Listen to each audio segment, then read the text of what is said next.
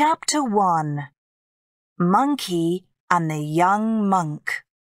Our story begins long ago on the mountain of fruit and flowers in China. On this mountain, there was an old rock. It was red from many years in the hot sun. One morning, the rock broke open and a monkey was born from it.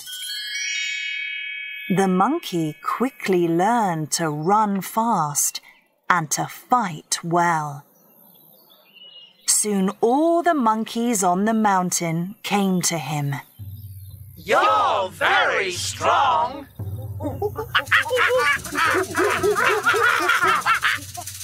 They cried, That's true, answered Monkey. You're the strongest of us. So you must be our king.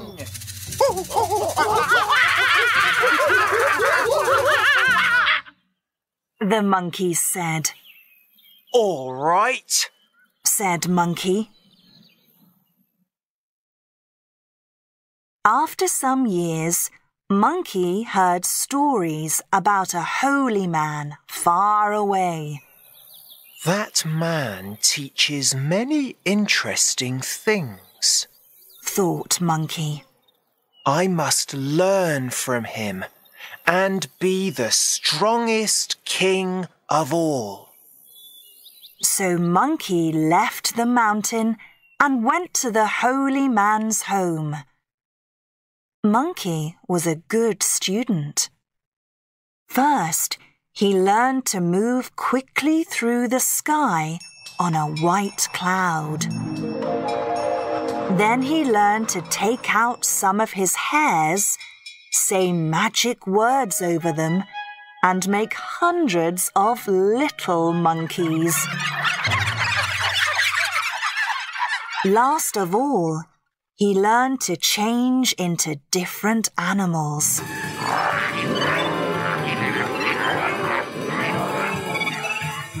After a long time, Monkey thanked the holy man and left. He got on his cloud and went back to the mountain of fruit and flowers. He soon met one of the monkeys there, Remember me? Said Monkey. I'm your king. But a red demon is now our king. said the monkey. Ha! I can soon stop that. cried Monkey. He took out some of his hairs and said magic words over them. They changed into hundreds of little monkeys. At once, these little monkeys went up the mountain and fought the red demon. The demon ran away. This time there was one demon. Said Monkey. But what can I do next time when more demons come? I know. Said one old monkey. Go to the Dragon King of the ocean in the east and speak to him. He knows everything about fighting demons. So Monkey got on his cloud, went to the ocean in the east, and spoke to the Dragon King. The Dragon King knew of Monkey and was afraid of him. So he helped him, You need these. said the Dragon King. And he gave Monkey some armor and a very long staff. I can't carry that staff. Cried Monkey. Yes, you can. Watch this. Said the Dragon King. And he cried, Change. Suddenly, the staff was very little. Thank you. You're right. I can carry it behind my ear, said Monkey. And he put the little staff behind his ear and went home. Far up in the sky, the Emperor of Heaven looked down through the clouds. Hmm. We need to watch carefully. He said to the moon goddess. Monkey can do many different things now. So the Emperor asked Monkey up to heaven. You can work here with my horses. The Emperor told Monkey when he arrived. Thank you, said Monkey happily. But one day, the Dragon Prince of Heaven spoke to his brother, and Monkey heard them. Monkey is doing the dirtiest work in heaven. Laughed the Dragon Prince. He never stops taking horse muck to the Emperor's gardens. Thought Monkey angrily. He ran to the Emperor of Heaven's home. All the most important people in heaven were there. Why am I doing the worst work in heaven? Asked Monkey in front of everybody. Who is this? asked the big fat Admiral of Heaven. Yes. Go back to the horses at once, said the tall, thin General of Heaven. But Monkey stood angrily in front of the Emperor and didn't move. Please find some more interesting work for Monkey, smiled the moon goddess. She felt sorry for Monkey. In the end, the Emperor told Monkey, Very well. Go and work in my peach garden. But you need to watch the peaches there carefully. Nobody must eat them. Because after people eat those peaches, they're immortal. So Monkey went to the peach garden. He sat under one of the trees and slept in the warm sun. When he opened his eyes, he felt hungry. Mm. I'd like one of those nice peaches, he thought, and he took a big peach from the tree and ate it. Mm. Ah, that was wonderful, he said. So he took one more. Soon, there was only one last peach in the garden. Monkey, come here! cried the Emperor the next morning. Did you eat my peaches yesterday? Yes, said Monkey. They were very nice, thank you. And now I'm immortal. Oh no! cried the Emperor. What can I do with him? He asked everybody. Put him in your oven, said the Admiral of Heaven. And leave him there for 49 days. Yes, said the General of Heaven. Nobody can come out of that alive. So the Emperor put Monkey in the oven at once. After 49 days, the Emperor opened the oven doors. Monkey is dead by now, I think, he said. But Monkey quickly came out. He now had red eyes and a very strong body. Ha ha! I'm immortal. You forgot that. said Monkey. And I've got new eyes. I can see demons with them. Look, there are some demons on that mountain, down under the clouds. Oh no! cried the Admiral of Heaven. He's quicker and stronger than before. Then there's only one answer. said the Emperor. Monkey, you must leave heaven at once. What? said Monkey. Go back down to Earth? Yes, after all, you ate my peaches. Cried the Emperor. But that's not everything. I'm going to put you under a mountain for 500 years. And I'm going to put my seal on the mountain so you can't get out and run away. But how am I going to eat and drink? asked Monkey. You can have a helper. He can visit you every day. answered the Emperor. Goodbye, monkey. Nearly 500 years went past. Then one day, Buddha visited a holy woman in China.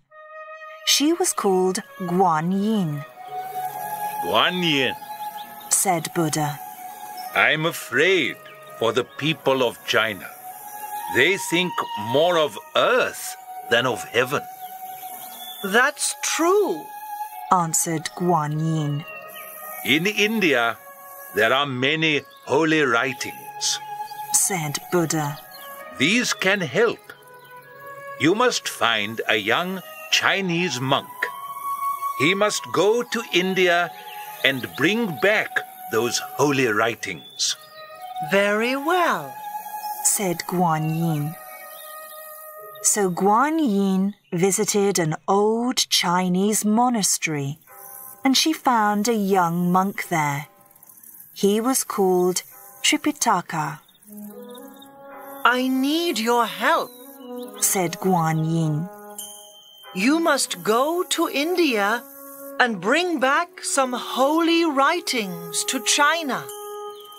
Tripitaka listened carefully, The road is going to be long, said Guan Yin. and there are many mountains, rivers, and angry demons between here and India. The young monk looked at his feet. So, Tripitaka, can you go to the west for me? And for Buddha? asked Guan Yin.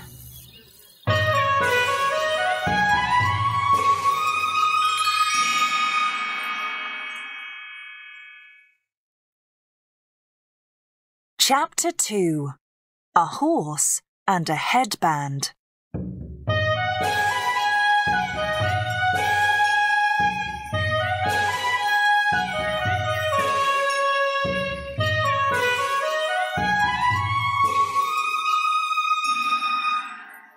The young monk Tripitaka looked at the holy woman Guan Yin. Of course I can go on this journey to the west. He said, But how can I fight against demons and go across rivers when there's only me? You're going to have three helpers. said Guan Yin. Where are they? Asked Tripitaka. You're going to meet them on the journey. said Guan Yin. I'm sorry, but I can't tell you any more. And do I need to walk to India? asked Tripitaka. Oh, no. I have a horse for you, smiled Guan Yin. And she brought a beautiful white horse from behind a tree. And here's one more thing, said the holy woman. And she gave a beautiful headband to Tripitaka. what do I do with this? He asked her. You put it on someone's head. Then you say these holy words, answered Guan Yin and she said the holy words. The headband then becomes very tight.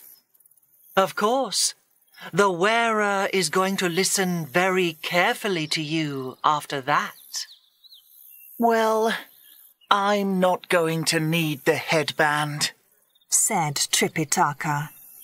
But he put it in his bag. The next morning, Tripitaka got on his beautiful white horse. He left the monastery on the road to the west. After a week, Tripitaka was on a road near a tall mountain when suddenly he heard some cries from behind a big black rock. The master's coming! The master's coming! The cries went. Tripitaka began to feel afraid. Soon he met a very old man with a bottle of water and a bag of fruit in his hands. What's all that noise? Tripitaka asked. Those are the cries of Monkey, said the old man. The Emperor of Heaven put him under that mountain five hundred years ago. I give him something to eat and drink every day. My father, my grandfather, my grandfather's father, and his grandfather before him did this for many years before me. Monkey is waiting for someone, I think. Tripitaka went to the mountain and he spoke to Monkey. I'm Tripitaka, the monk. You can go free, but you must become my helper and come to India with me. We're going to find some holy writings there. Oh, so you're my master? Monkey said excitedly. The holy woman Guan Yin came and spoke to me about you. I need to go on the journey to the west and say sorry for taking those peaches from the Emperor of Heaven's garden take the Emperor's seal off this mountain. Then I can get out of this rock. So Tripitaka took off the Emperor's seal. Monkey jumped out of the black rock. Wow! I'm free! After 500 years! He cried happily and he began to run away. Monkey, come back, said Tripitaka. I have something for you. And he took the headband out of his bag. What's that? Monkey asked, and he ran back. It's a wonderful headband, Tripitaka said. When you wear it, you can suddenly understand many things. Really? said Monkey. I must put it on at once. He took the headband and he put it on his head. Tripitaka said the holy words. The headband suddenly became very tight. Monkey began jumping up and down. Stop! Stop! He cried again and again, but the headband became tighter and tighter. Oh, I never want to run away again. Cried Monkey. I'm going to be your true helper and journey to India and back with you. Tripitaka stopped saying the holy words, and Monkey began to feel better. Thank you, Master. He said to the young monk. Please don't do that again. Can I take the headband off now? No. You must wear it all the time. Tripitaka said. With that on your head, you're not going to run away again. So Tripitaka, the white horse, and Monkey began their journey. They travelled across dark mountains and past big rocks on the long road to India. Tripitaka sat on his horse and Monkey walked carefully in front.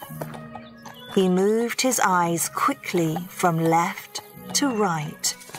He looked for demons and monsters behind every rock and tree. Early one morning, they arrived at a big river. The water in it was cold and it ran past very quickly. Tripitaka got off his horse. Oh. How are we going to go across this, monkey? Tripitaka asked tiredly. Hmm, said Monkey. I need to think about that for a minute, Master. So Tripitaka and the horse waited next to the river. Suddenly, a blue water dragon with big angry eyes jumped out of the river.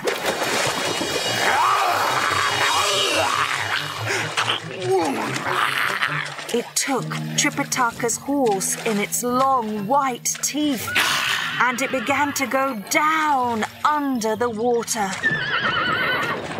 Stop! Tripitaka cried. But the big river dragon was fast and strong. It carried the horse down under the water in its mouth.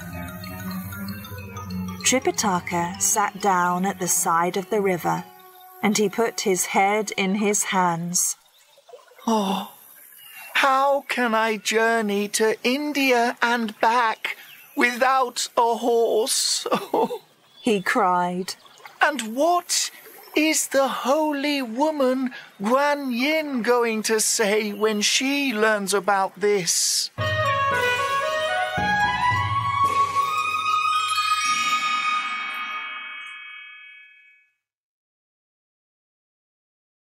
Chapter 3 The Dragon Prince and the Monster.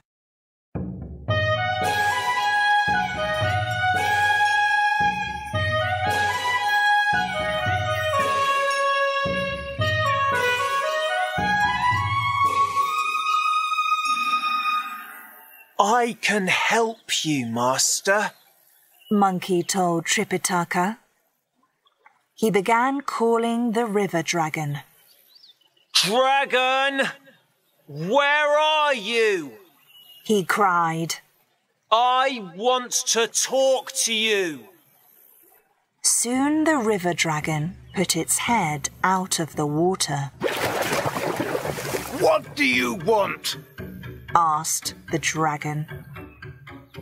Just then, Monkey took the little staff from behind his ear and cried, Change! The staff became very big, and he quickly began hitting the dragon over the head with it. You ate my master's horse! He cried angrily. So take that! And that! And that! The strong river dragon soon went under the water again. Suddenly, the holy woman Guan Yin was with them. Wait! Put down that staff, monkey, and listen. She said. Monkey put the little staff behind his ear. Thank you. smiled Guan Yin. Then she told Tripitaka, That isn't a true river dragon. He's the dragon prince of heaven. The emperor put him here because he once said bad things to the emperor's mother. The prince cannot go back to heaven before he carries a monk to India. And I'm that monk. Said Tripitaka excitedly. Suddenly, the dragon's head came out of the water again. Are you talking about me? The dragon asked. Yes, dragon prince. Guan Yin said. But you forgot my words to you. You didn't tell this young monk your story when you first saw him. Why? She asked angrily, I was very hungry, answered the dragon. so I ate his horse first. My last dinner was weeks ago, you know. Well, now you can be Tripitaka's new horse. said Guan Yin. At once, she changed the dragon into a beautiful white horse. It went and stood near Tripitaka, Have a good journey. cried Guan Yin before she suddenly left. The three travellers stood near the river. They looked up and down it, but could see no ships. Its cold water flowed past very quickly. Well, we can't take a ship across, and we can't walk across. said Tripitaka, Wait and see. cried Monkey, and he took the little staff from behind his ear. Change. He cried, and the staff became very big and long. Monkey put the long staff across the river. Then he, Tripitaka, and the white horse walked over it, from this side of the river to that side. Once they were over, Monkey cried, Change.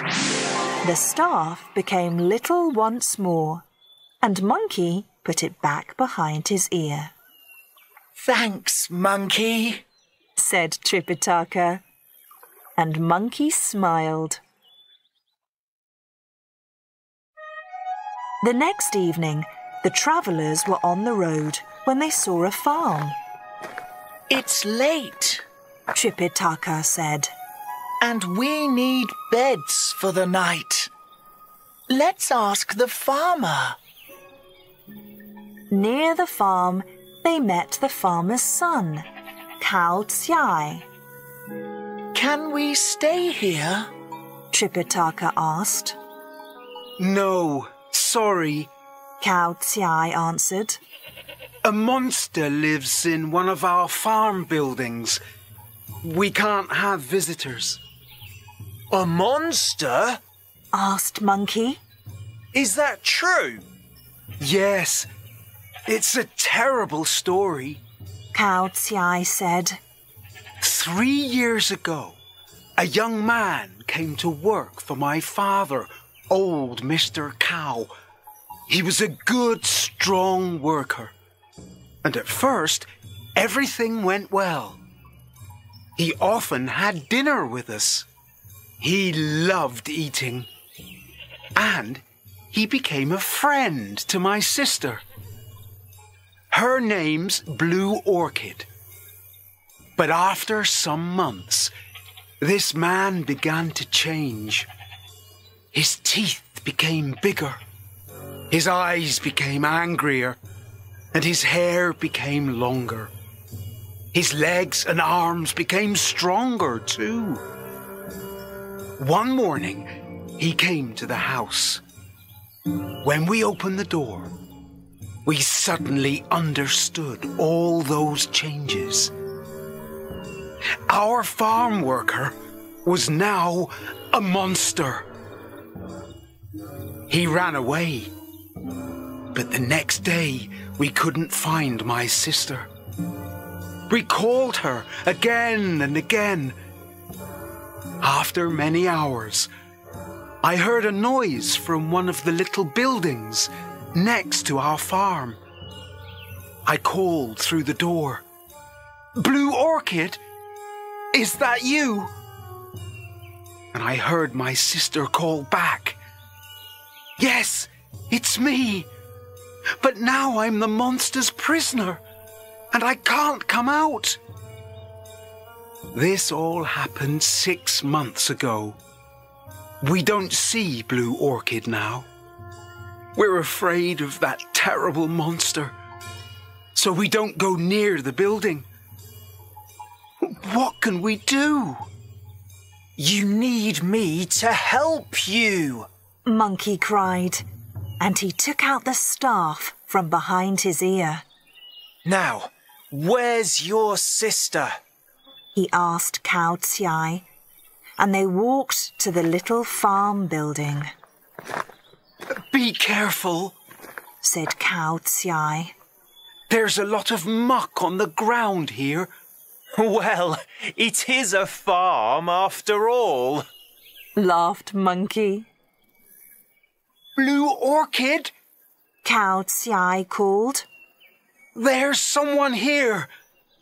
His name's Monkey, and he can help you. Blue Orchid slowly opened the door. The monster isn't here now, she said. He usually comes at night. Quick, Blue Orchid!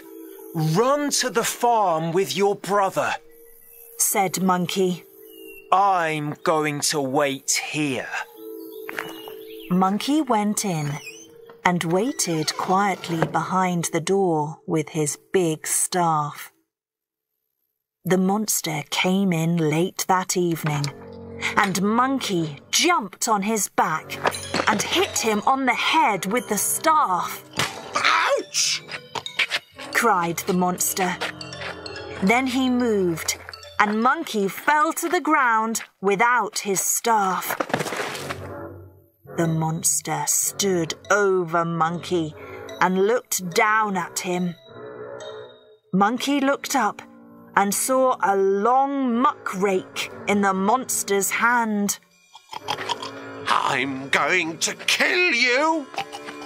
cried the monster angrily, and he brought the muck rake down on Monkey's head.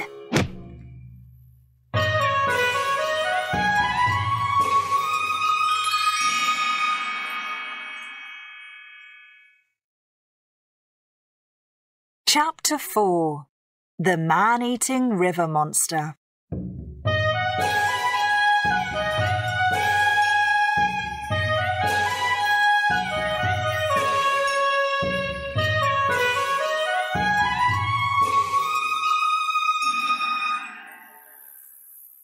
The monster hit Monkey on the head with his muck rake. For a second, Monkey didn't move. Then he suddenly jumped up. You can't kill Monkey with your muck rake. He cried. The Emperor of Heaven once put me in a big oven for 49 days. Now my body is wonderfully strong and I'm immortal. The monster looked carefully at Monkey's face. I remember you, said the monster slowly. You ate all the peaches in the Emperor's peach garden. I was the Admiral of Heaven then. Oh, yes. I remember you. But what are you doing down here on Earth? asked Monkey. It's a long story, the monster said. The Emperor was angry with me because I became very good friends with the Moon Goddess. So I was born again here on Earth in this monster's body. Well, I'm on a journey to India now, said Monkey.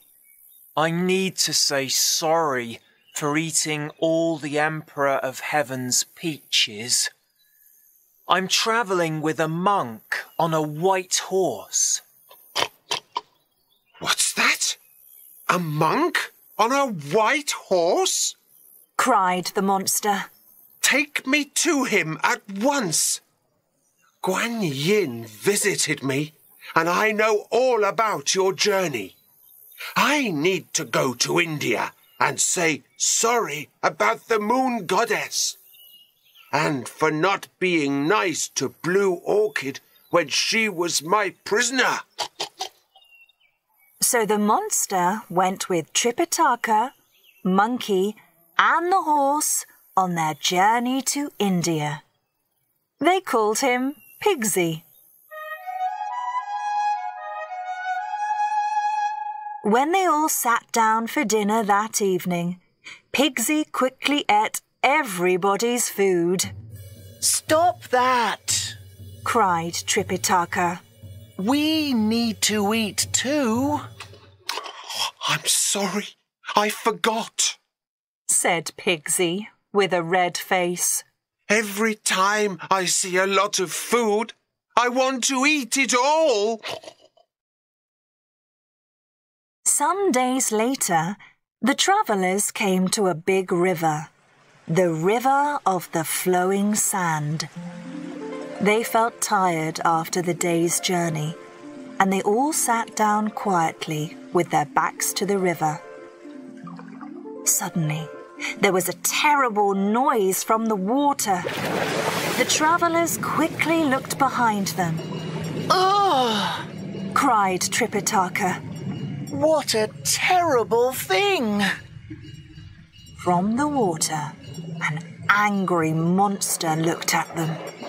It had green eyes and yellow teeth, and it was very tall.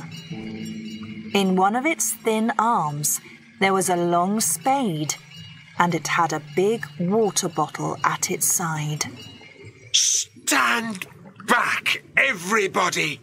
It's a man eater! cried Pigsy. But I'm ready with my muckrake! Pigsy hit the river monster over the head. But Monkey wanted to fight too. He took out his staff and hit the monster with it. River water went all over Tripitaka. Oh, stop! cried Tripitaka. I don't like fighting. You know that. Pigsy stopped at once. But Monkey didn't stop hitting the river monster angrily. So, in the end, Tripitaka said the holy words. The headband at once became very tight on Monkey's head, and he stopped fighting too. The monster moved away and went under the water. Tripitaka began walking up and down. How are we going to go across the river with that monster in it? He said, Without fighting, who knows? said Monkey angrily, and he walked away. But Pigsy stood next to Tripitaka. It's all right, Master. Pigsy said. I can help you. He jumped into the water. Then he went and found the monster on a big rock in the river. Wait! Don't hit me! I wasn't always a monster. The monster told Pigsy. I was once the General of Heaven. I remember you. cried Pigsy. I was once the Admiral of Heaven. What are you doing here on Earth? I broke the Emperor of Heaven's most expensive vase. said the monster. So I was born again, here in the river of the flowing sand. My name's Sandy now. Pigsy looked carefully at Sandy. Don't tell me. He said, You want to go with a young monk and his helpers on a journey to India. That's right! Sandy answered excitedly. Guan Yin spoke to me. I must make the journey to India and say sorry because I broke that beautiful vase. Pigsy took Sandy to Tripitaka. Sandy sat on the ground in front of the young monk. Master, how can I begin to help you on your long and important journey? He asked. Take us across the river, answered Tripitaka. Watch this, said Sandy. He quickly took his big water bottle in his hands and he made a ship from it. Jump in, everybody! cried Sandy. So they all went happily across the river in Sandy's water bottle ship. After that, the travellers journeyed for days. Monkey walked in front, always ready for demons and monsters. Next, there was Tripitaka on his white horse. Sandy came after Tripitaka with his long spade in his hand. Last of all, there was Pigsy. He carried many of the travellers' things and his muckrake too. They went through old villages, past little farms, and over cold mountains. One night, the travellers stopped at a monastery. Tripitaka was tired after a long day, and he went to bed early. He closed his eyes, and he soon slept. In his sleep, the young monk saw in front of him an old man with a terrible white face. There was water all over his hair and body. He came nearer. Oh, I am a king without a kingdom, he cried. Please help me, Tripitaka.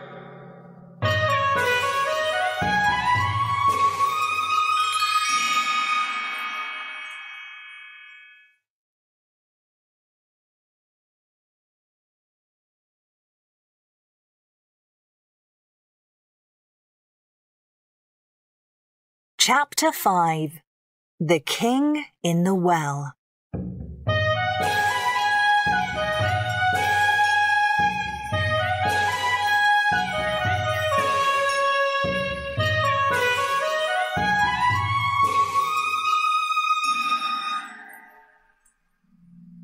I once was the king of Cockadoodle. The old man told Tripitaka in his sleep. That's a kingdom near here. And he began to tell Tripitaka his story. Five years ago, there was no water in my country. It never rained, and the farmers stopped bringing food into the towns. The people were hungry, and I needed to do something quickly. Then, one day, a magician arrived. He could make clouds in the sky. The weather changed, and soon it rained every day. The farms were green again, and the people were happy. I told the magician, Please stay. My kingdom is nothing without you. In the end, he said yes, and I gave him a house. But early one morning, I was at the well in the palace garden when I heard someone behind me. It was the magician. He hit me, and I fell down the well. Then he said some magic words. When I looked up, I could see his face far away. But it wasn't his face. It was my face. The magician was now me, and I could do nothing about it. The impostor put an apple tree over the well, and he went to live in the palace with my family. He is now the king of Cockadoodle, and nobody knows the true story. Tripitaka moved in his sleep. How can I help? He asked. You must take this green ring with my seal on it. Answered the king. Give it to my son, the prince. When he sees it, he's going to understand. The next morning, Tripitaka opened his eyes in bed at the monastery. He saw the green ring in his hand, and he told Monkey about the king of Cockadoodle. Leave everything to me, master, said Monkey. I can help the king and drive away that impostor. Monkey soon learned something interesting. At ten o'clock the next day, the Prince of Cockadoodle and his men wanted to visit the country near the monastery on their horses. The next morning, Monkey jumped on his white cloud. He looked for the prince and his men and found them not far from the monastery. Monkey quickly changed into a big, fat bird and ran in front of the horses. The prince suddenly saw the bird and thought, Wow! I want to eat that for my dinner. so he took a long arrow from his bag. The arrow went up through the sky and it hit the big fat bird. Monkey, in the bird's body, went quickly across the sky to the monastery. Then he changed back into Monkey and put the arrow into the monastery door. Monkey then went into the monastery and jumped into a box there. The prince went after the bird on his horse with all his men behind him. He soon arrived at the monastery and he found the arrow in the monastery door. What's my arrow doing there? He said. He took the arrow out of the door and walked into the building. But Tripitaka stood in front of him. Move! cried the prince angrily. I'm a holy monk. You can't say move to me, answered Tripitaka. Well, I'm the Prince of Cockadoodle, and people always listen to me. The prince cried. Take that monk away. He said to his men. But Monkey opened the box and came out.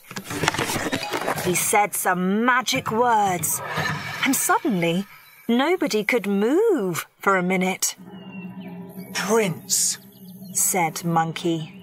We have something interesting for you. Then he took the green seal ring from Tripitaka's hand and gave it to the prince. That's my father's ring, the prince said. Take it, Monkey said. And close your eyes. The prince took the ring in his hand and closed his eyes. After some minutes, he opened his eyes again. I saw my father, he cried. And he told me something terrible. The king in the palace is an impostor, he said. Is it true? Yes, answered Monkey. But what can I do about this? The prince cried. You must wait, said Monkey. We are going to help your father. So the prince waited at the monastery.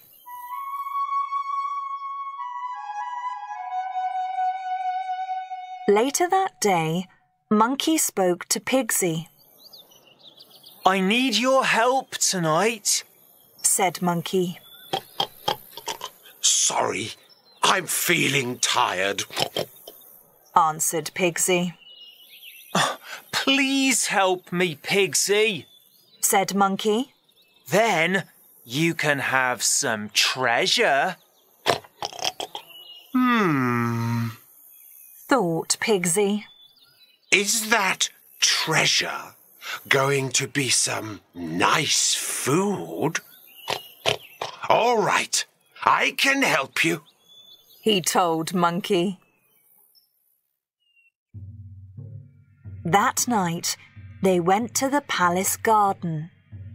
Pigsy broke open the gate with his long muck rake. Then they went in and found the apple tree. The treasure is under that tree, Pigsy, said Monkey.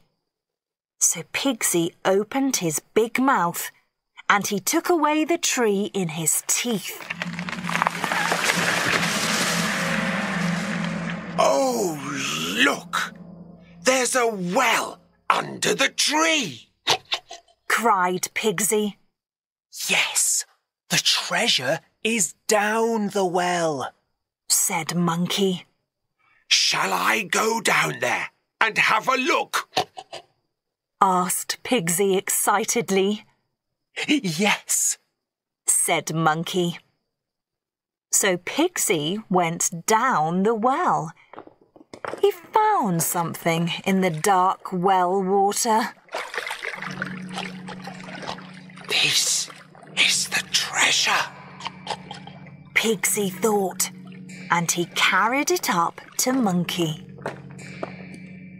Pigsy put the thing on the ground at Monkey's feet, and then he looked at it. Yuck! he said suddenly. That's not treasure. It's a dead body. That's right, said Monkey. It's the body of the true king of Cockadoodle. And you knew that all the time? cried Pigsy angrily. well, yes, smiled Monkey. But I needed your help because you're very strong. I see, said Pigsy. And now, don't tell me. I need to carry that body Back to the monastery too. No, that's all right, said Monkey. I can do that. Monkey quickly took out some of his hairs and said some magic words. Hundreds of little monkeys ran to the dead body and they carried it back to the monastery. The prince was there with Tripitaka and Sandy.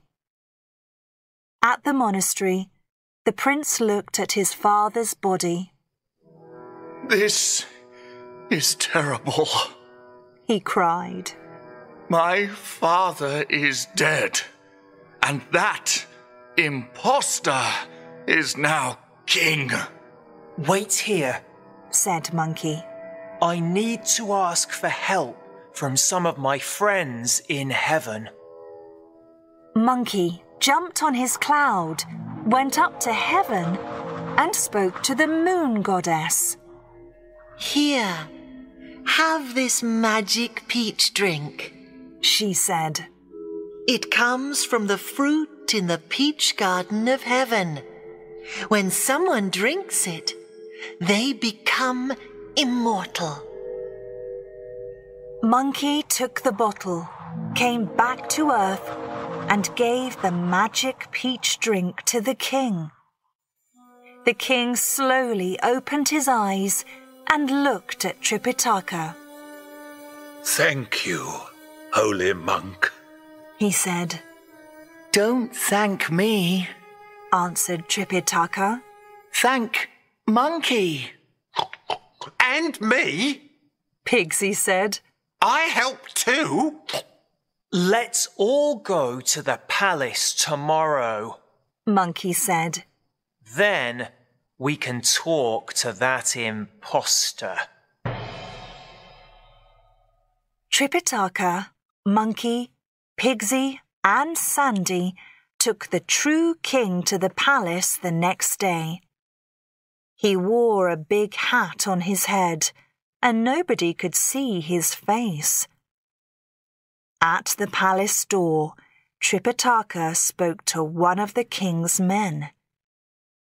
In the end, the travellers went in and saw the impostor king.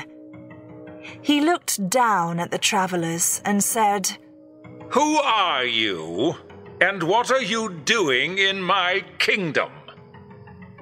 We're four travellers on a long journey to India, said Tripitaka. We're going to bring back holy writings.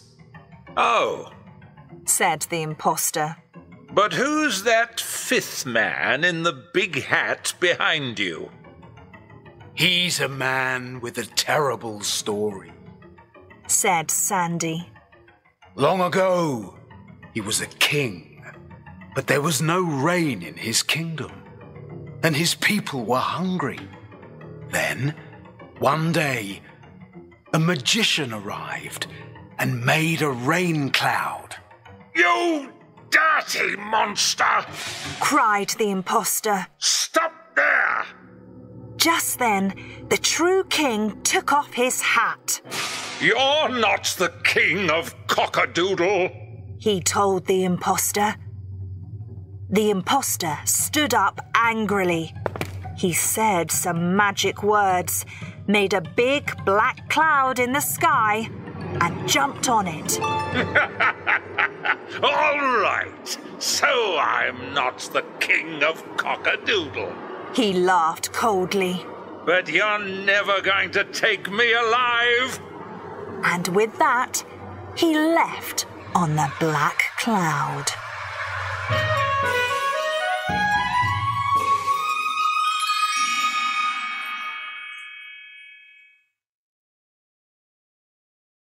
Chapter 6 The Journey Home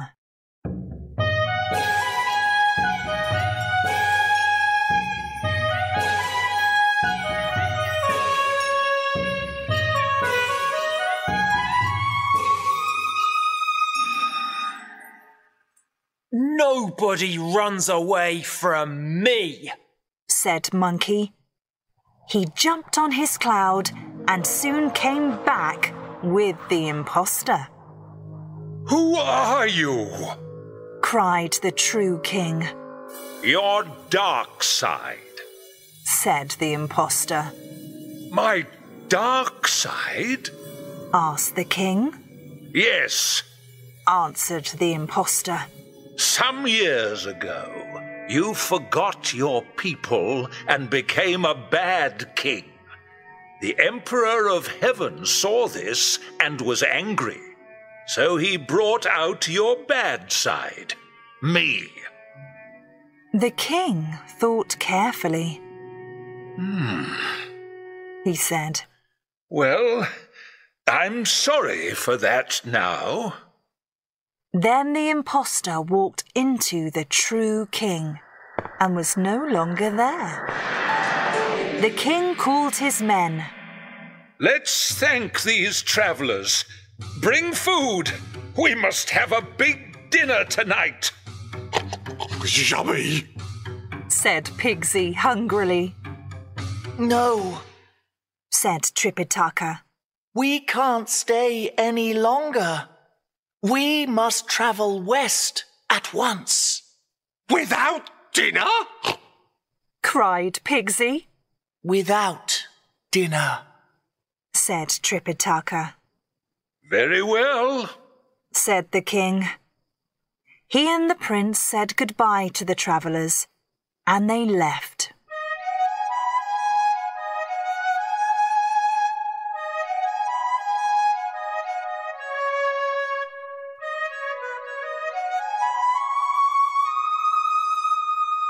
After many months, the road west became very bad. We're never going to arrive, said Monkey angrily one evening. Oh, be quiet, said Sandy. Yes, said Pigsy. We're tired of listening to you, monkey. The next morning, Tripitaka could not find Monkey. We can do without him, said Tripitaka. Let's go. Nobody saw Monkey all day.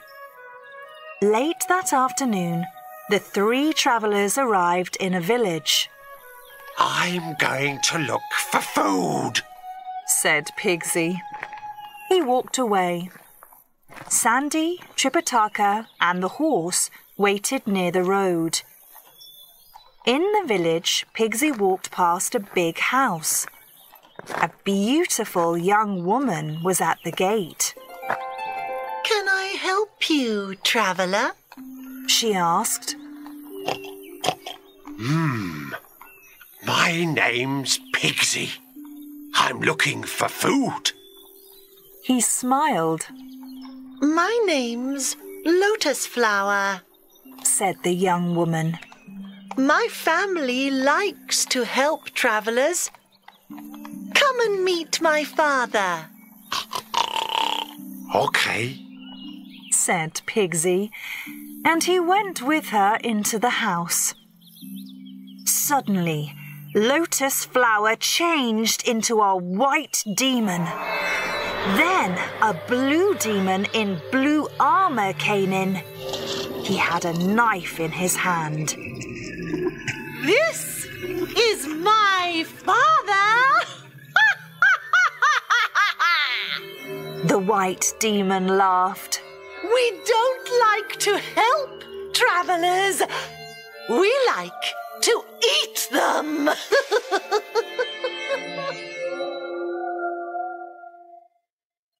Where's Pigsy? Sandy asked Tripitaka some time later. Let's look for him. They left the horse and walked into the village. Suddenly, they fell into a trap. Soon they saw the faces of two demons over them. Good! laughed the demons.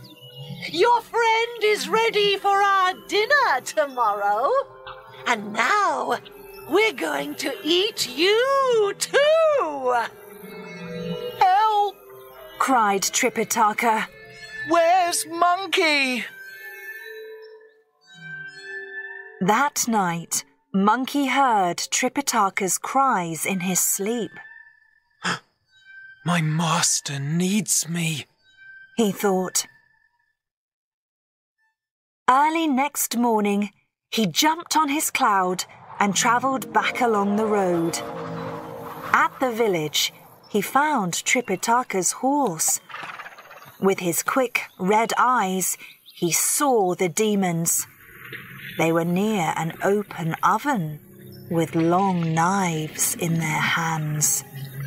Tripitaka, Pigsy, and Sandy stood between them. Monkey moved nearer.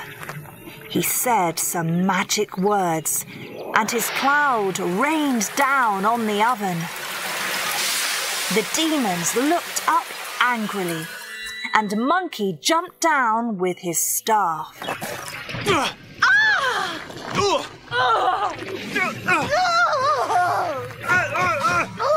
He hit the demons with it, and they ran away. Monkey looked at Tripitaka, Pigsy, and Sandy. They were tired and afraid. I left you, said Monkey. I'm sorry. Look, we're stronger when we're all here on the journey. I understand that now, answered Tripitaka. We need you with us, Monkey. There are many more stories about the traveler's journey to the west. They went across mountains, rivers, and oceans, fell into many traps, and fought many demons and monsters. But in the end, they arrived at the holy mountain in India, Buddha's home. Tripitaka and his helpers went up to Buddha's holy palace. Tripitaka fell to the ground in front of Buddha. Monkey, Pigsy, Sandy, and the white horse waited behind him. we come from China, said Tripitaka. We want to bring back some of your holy writings for our people. Yes, Guan Yin told me about you, smiled Buddha. And he gave some beautiful scrolls to Tripitaka. Take these home with you, he said. Thank you, said Tripitaka, and they left. But early on their journey home, Monkey looked at the scrolls. Hey, there isn't any writing on them, he cried. So the travellers went back up the holy mountain and told Buddha. Ah, I wanted to test you, smiled Buddha. But you did well in the test. These are the true scrolls. This time, he gave them scrolls with writing on them, and the travellers began their journey home again. Soon after that, Guan Yin visited Buddha in India.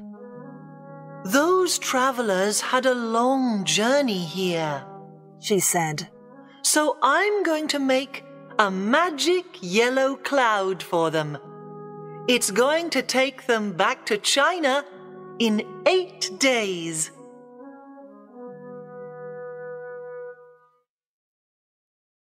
Soon the travellers arrived home with the holy writings.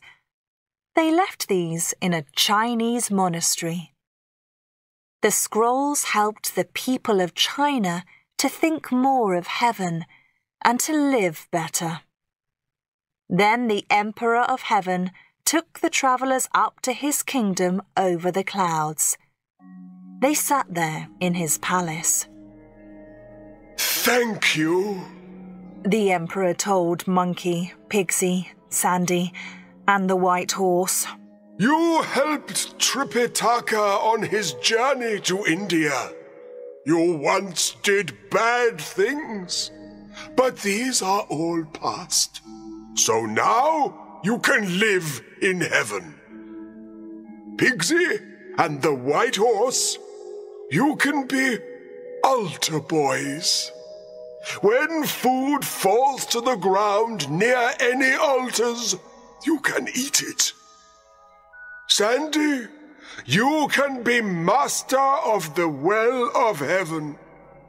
And Tripitaka and Monkey, you can be heaven's helpers of everyone on earth. Thank you, Holy Emperor! They all cried.